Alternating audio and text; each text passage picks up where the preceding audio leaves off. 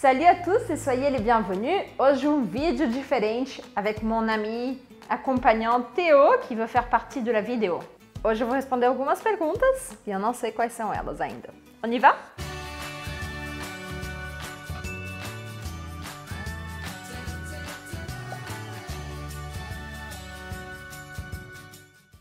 Quais lugares você já conhece da França? Super!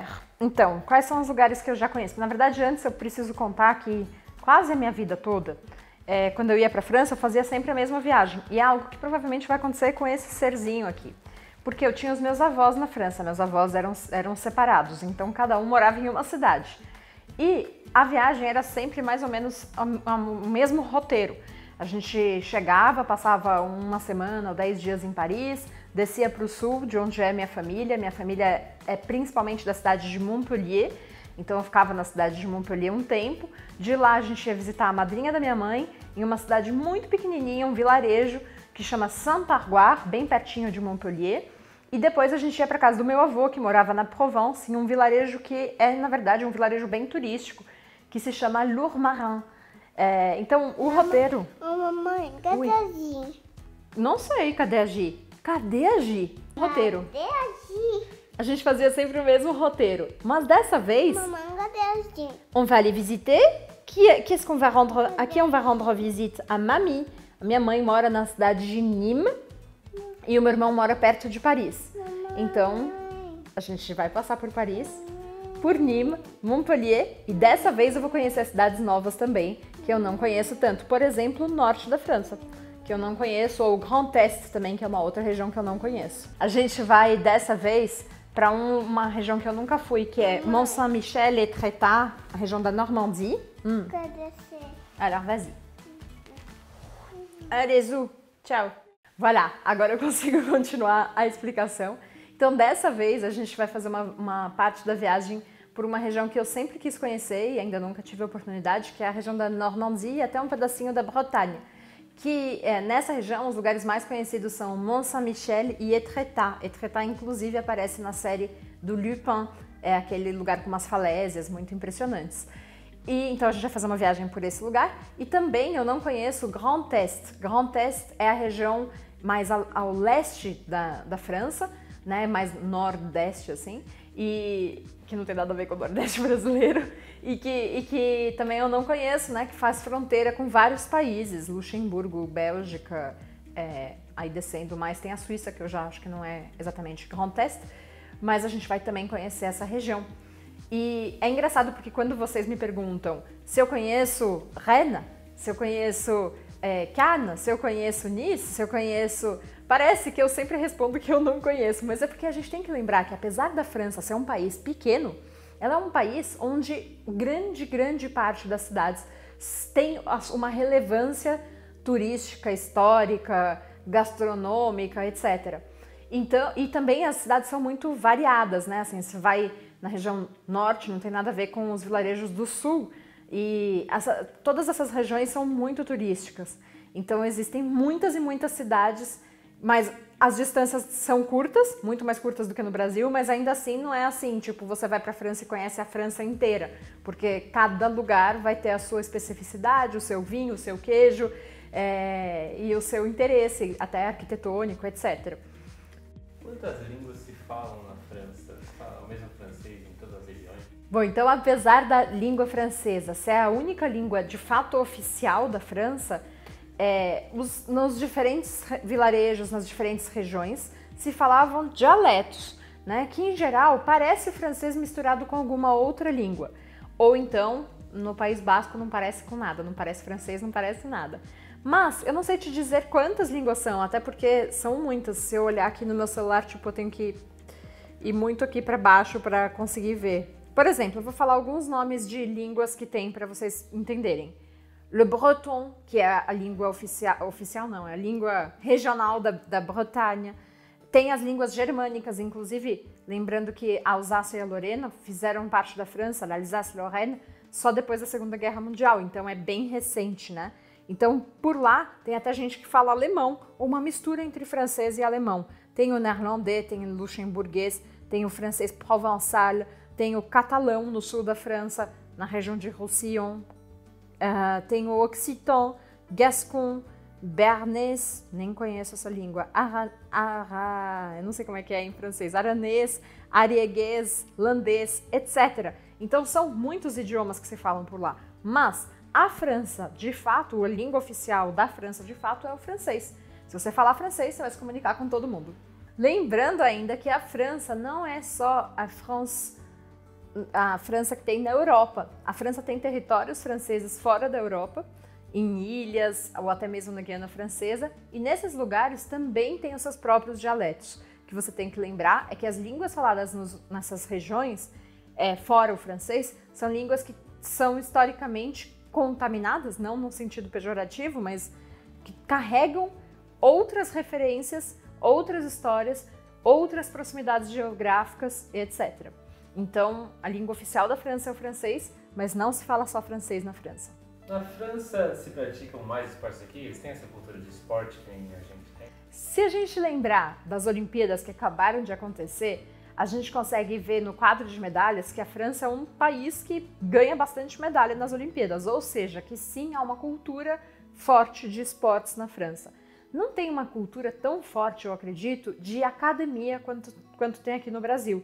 Aqui é muito comum as pessoas irem para a academia. Na França é mais comum as pessoas praticarem um esporte outro que não só musculação, por exemplo. É, ainda assim, as crianças fazem muito esporte na França desde pequenas seja judô, que inclusive a França é muito boa, é uma referência no judô, é, natação, vôlei, handball, é, enfim, outros esportes, cada um, futebol, rugby, rugby tem crescido muito na França também. E tem também alguns torneios, né, tipicamente franceses, como por exemplo o Tour de France, que é a volta da França de bicicleta. Os franceses são apaixonados pela bicicleta, por bicicleta, andam muito de bike e usam muito a bicicleta como não só meio de transporte, mas também uma prática esportiva. Eu diria que os principais esportes dos franceses, e aqui sou eu falando, se a gente pesquisar na internet, provável que a gente ache outra resposta, né? Mas é o futebol, os franceses gostam muito de futebol, rugby e bicicleta. Apesar de também ter o Roland Garros, né? Que é o torneio de tênis, que também é francês. Mas enfim. Na França tem sistema de saúde público, que nem a SUS aqui? Tem. O, a, o sistema de saúde é público na França, mas é um sistema diferente do SUS, né? É, o SUS é uma referência mundial né, de, de sistema de saúde pública. Agora eu vou falar um pouco como funciona na França. Na França, quando você mora lá, você tem uma carte vitale, que é uma carteirinha eu não tenho porque eu não moro na França, mas a gente pode achar uma foto de uma carte vitale para colocar aqui na tela em algum lugar para você. Mas é tipo, parece um cartão de crédito verde, carte vitale, e com os seus dados. E com essa carta vital você consegue ir ao médico, você paga o médico, mas você é reembolsado, tá? E, ou reembolsado uma parte desse médico. Tem também, obviamente, hospitais para você frequentar, mas o que é muito diferente do Brasil é que você é reembolsado em todos os remédios, ou seja, que você não paga remédios na França. Tá com alguma coisa, precisa comprar um, um antibiótico, você vai com a sua carta vital e depois esse valor que você paga no primeiro momento ele é reembolsado. Então essa é uma grande diferença. Existe também o que a gente chama de mutuelle, mutuelle que seria o equivalente dos planos de saúde. Para que se tem a carta vital? Porque às vezes o reembolso não é de 100% né, na, na carta vital. Mas com a mutuelle, que é uma, uma mutual, então um, um tipo plano de saúde, você paga um valor anual, muito mais baixo do que os planos de saúde aqui no Brasil, e você é reembolsado ainda mais no valor que você já seria reembolsado. Porque alguns médicos cobram um pouco a mais do que é, o valor do, da carta vital. Mas preste atenção, aqui eu não sei, né? Depende muito da realidade de cada pessoa, de cada região do Brasil. Eu moro em uma capital, em São Paulo, que é uma das capitais mais caras, e aqui, se eu for em um médico particular, pode sair uma quantia absurda, né? Eu já vi médico cobrando 600, 700, 800, 900 reais ou mais até. Na França isso não é normal, tá? É, nunca você vai pagar tanto assim no médico. E sistema de saúde pública, é, imigrantes também podem utilizar ou ele é só para cidadãos franceses? ele é para quem mora na França. Você tem a carte vitale quando você mora na França, então turista não pode usar. Quando você vai a turismo na França e você não é francês, você precisa fazer um plano de saúde de viagem, né? Tem, tem um seguro de saúde de viagem. E isso é sempre recomendado que quando você vai para qualquer país, a, a, viagem assim, você faça isso. É, até não sei se não é obrigatório, não me lembro, porque como eu sou francesa, eu não tenho que fazer isso. Mas, por exemplo, eu sou francesa, não moro na França, não tenho carte vitale, ou seja, que eu pago as coisas que eu consumi por lá. Mas se eu precisar ser hospitalizada, eu vou ser hospitalizada e vou ter que pagar alguma quantia, mas com certeza será menos do que aqui no Brasil. E em relação a imigrantes, sim, porque eles moram na França. Então, a partir do momento em que você é legal no país, você tem direito à carte vitale, à escolaridade, né? A escola também é gratuita, etc. Então, você começa a ter direitos iguais. Só um adendo, eu falei de escola gratuita, tem imigrantes que são ilegais e a escola é uma obrigação do país. Então, os, os, digamos, a família está ilegal, mas os filhos podem sim ir para a escola, mesmo com as pessoas ilegais. E tem direito à saúde, só não tem direito a, essa, a esse reembolso. Tem como imigrar, imigrar para lá sem passaporte europeu e sem descendência? Tem, eu não sou fonte oficial de informações e vocês precisam procurar as informações corretas. Campus France, se você quer estudar na França, ou então diretamente os consulados. É, aí você tem que ver em que região você está, mas consulado da França ou embaixada da França. Mas existem sim formas, você pode ter um visto de trabalho, se uma empresa francesa ou algum, alguém quer te contratar da França, é burocrático para a empresa e em geral, tipo, uma empresa vai querer fazer isso se ela é uma multinacional e você já trabalha com ela. Então é legal você já trabalhar numa multinacional francesa no Brasil, por exemplo, se você tem essa vontade de morar na França a trabalho. Existe, existem alguns outros vistos também, e aí eu vou dar informações meio não 100% fiáveis, né? Eu preciso que vocês pesquisem as informações corretas, mas existe o visto, por exemplo, férias-trabalho, que ele é até, se eu não me engano, 28 anos, 27 anos, isso que eu não me lembro exatamente. Esse visto férias-trabalho, se eu não me engano também, ele é por um ano e você tem direito a trabalhar uma quantidade reduzida de horas e viver na França por um tempo curto, sendo uma pessoa jovem, tá? Então tem esses requisitos. Se você passou da idade, não tem chance de você conseguir esse, esse visto. É, existe, existe visto de estudante, e aí recomendo que vocês procurem Campus France, que é a, o órgão oficial que cuida disso e ajuda as pessoas a irem estudar na França. É, e lembrando que você pode ir enquanto turista até 90 dias, então são três meses, né? Você consegue ficar praticamente três meses na França sem precisar de visto. Só que você não vai poder trabalhar.